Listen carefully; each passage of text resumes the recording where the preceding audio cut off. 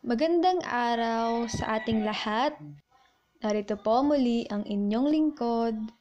Halina't samahan niyo po ako at pag-usapan natin sa videong ito ang manok na white leghorn. Pero bago yon, shoutout nga po pala sa ating mga viewers, sa mga nagla-like at share ng ating mga videos at lalong-lalo na sa ating mga subscribers. Maraming maraming salamat po.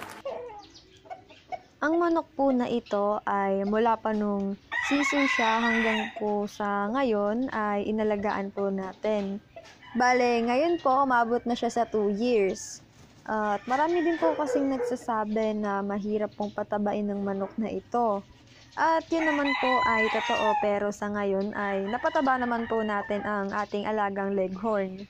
At ayun nga po, umabot po ng 3 kilo ang bigat ng ating um, alagang manok.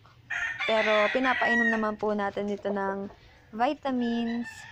Tapos sa pagkakaalam din po namin ay hindi po sila katulad ng iba pa pong mga manok na kung mapapansin natin ay ang kanyang kaliskis at paa ay medyo makapal na at mabilis din po silang tumanda agad. So hindi po sila katulad ng mga manok panabong tapos po, uh, maputi po ang kanyang tenga at malaki po pati ang kanyang ulo. So, ang kanilang mga palong naman ay malaki din, pero inayos na po natin yan. So, pinungusan po natin siya.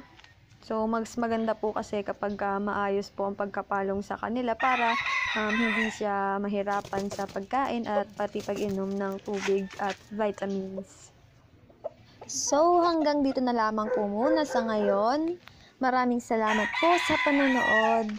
Maraming salamat sa ating mga viewers, sa mga nagla-like at share ng ating mga videos at lalong-lalo na sa ating mga subscribers. Shoutout po sa inyong lahat. Maraming salamat at God bless.